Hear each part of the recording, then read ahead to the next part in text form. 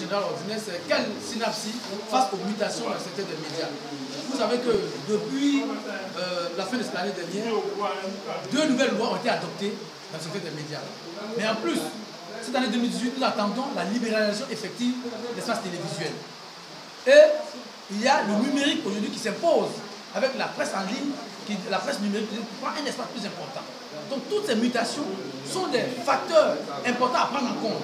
Et notre organisation doit s'adapter, doit adapter ses méthodes de lutte, doit adapter ses méthodes de travail, doit aussi revoir son discours par rapport à ces différents changements qui interviennent et qui vont impacter durablement notre secteur pour les 10, 15, 20 années à venir. Donc nous devons être préparés pour anticiper.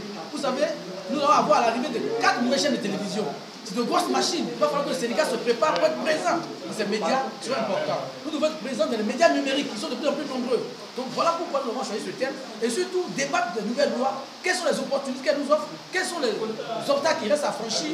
Et quelles sont les améliorations que nous proposer encore à nos autorités?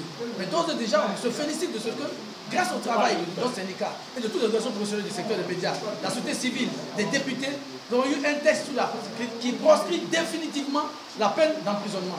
Et pour nous, c'est une grande victoire que nous allons célébrer avec nos camarades. Ce sera donc euh, le 1er, le 1er et 2 mars 2018 à l'hôtel Paris Village de Benjerville.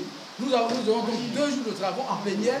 Nous allons avoir vraiment des communications qui vont nous permettre de prendre des décisions, des résolutions pour cette année 2018, mais surtout pour les années à venir, et notamment autour du grand projet que nous voulons organiser en octobre 2018, qui est la grande conférence nationale sur les conditions de vie et de travail des médias en Côte d'Ivoire. De sorte qu'au sein de cette conférence-là, nous puissions nous donner les moyens doter nos syndicats d'outils performants pour lui permettre de jouer son rôle de premier plan dans le secteur des médias pour le renforcement de la démocratie en Côte d'Ivoire.